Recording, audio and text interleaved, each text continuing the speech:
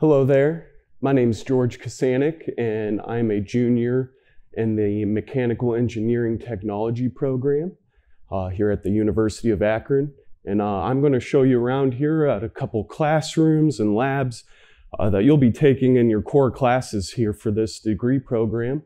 Uh, really good labs that give you hands-on experience uh, for things that you're going to need in industry. So let's go check it out. So these are the two buildings that you will have the majority of your core classes in. This is Schrank Hall North, and this over here is Schrank Hall South. Nice looking buildings.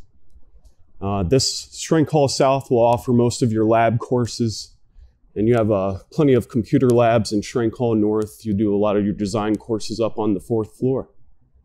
This is our PLC lab.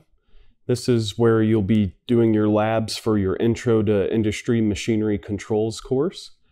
And what this is, is you are going to transfer your ladder logic that you may create in class, and you are going to simulate it on this PLC program, uh, maybe running a sequence that you would use in uh, production. So you want to run a conveyor belt, uh, a couple motors, some switches that will turn on and off, a push button, all very important stuff uh, that you would use in industry for a production and manufacturing job.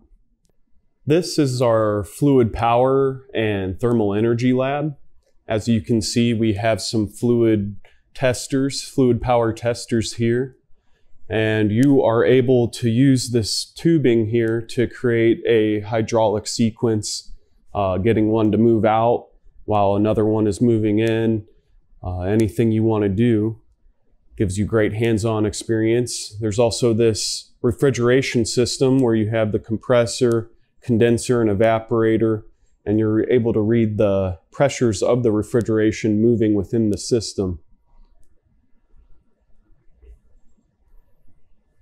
This is a hydrostatic tester, able to simulate uh, hydrostatic pressure for different weights.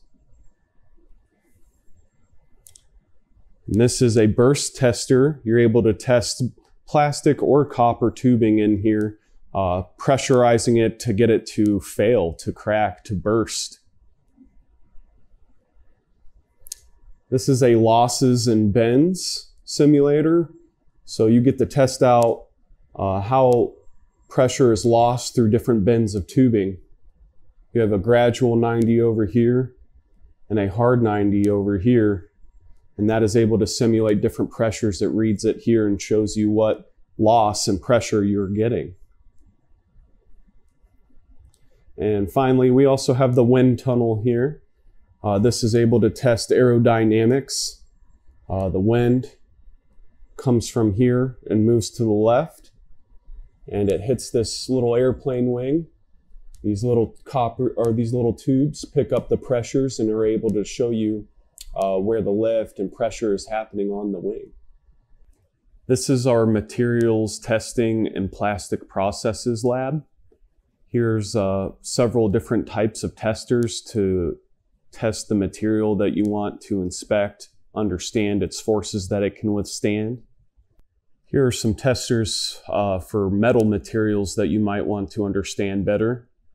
The machine on the right uh, uses tensile or compressive forces to elongate and stretch a metal until it literally, literally snaps. And that computer will pick up any kind of elongation to the very point of it breaking. The middle machine uh, is like a giant pendulum. You would set a piece of metal at the bottom and bring that pendulum up. It's very heavy, and you would swing it, and it would record the impact that the metal is uh, experiencing and it'll get it to the point where it will actually break, snap the metal that is uh, down there. This is a shear tester. It'll put a piece of metal in a double shear and uh, will record the point to where it will break. These are Rockwell hardness testers uh, to understand how materials uh, create an indentation, how much force it takes to create that indentation. You'd put a metal disc right here this comes down and puts an impression on that disk and will record the, the force that was acted on, upon it. Here we have some plastic processes testers, uh, stuff that will test the flow of plastic for injection molding. That's uh, very important to understand the flow of plastic when you're doing injection molding. This is an abrasion tester. Uh, tests the amount of abrasion that a certain plastic can withstand. If you're trying to work with different hardnesses and materials of plastics, uh, this is something you would want to use to test that.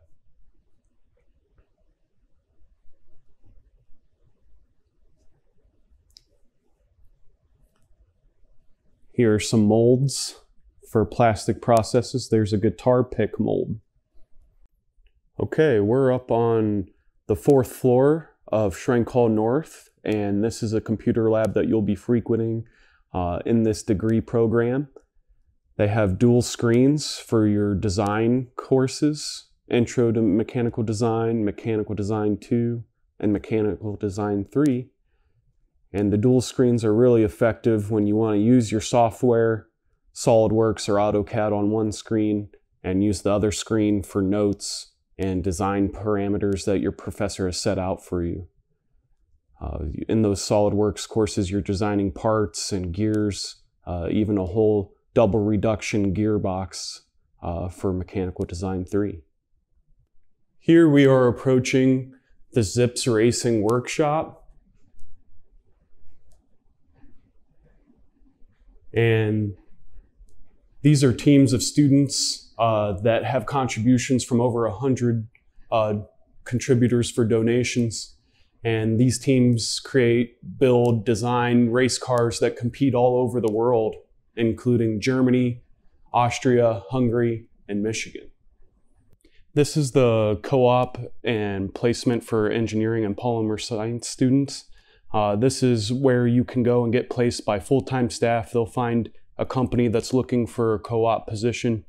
Also, the fall and spring job fairs are also wonderful uh, places. There's literally hundreds of employers that are looking for their next generation of workers. All right, as you can see, this degree program offers you wonderful hands-on experience as well as giving you a great academic education.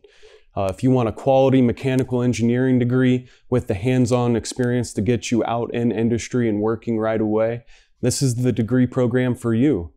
I hope this tour helped and go Zips. See you soon.